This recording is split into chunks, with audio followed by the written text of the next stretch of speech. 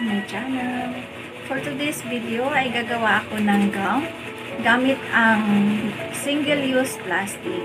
Ito yung napili kong gawing content kasi ah, ito yung mga karamihan nakikita natin sa basurahan.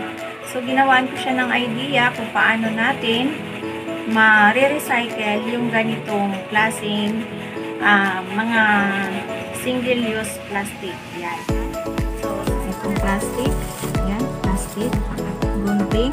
And then, sinulit. Yan. Ito yung mga gagamitin natin, guys. Tabi ko lang muna siya. Ngayon, umpisahan na natin ang paggugupit ng plastic. Tanggalan na natin sa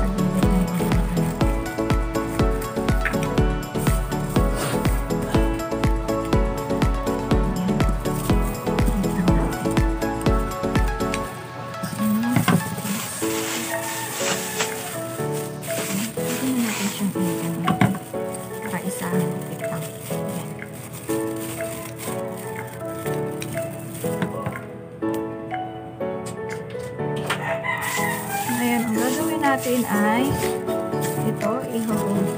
Ayan. Ganyan, guys.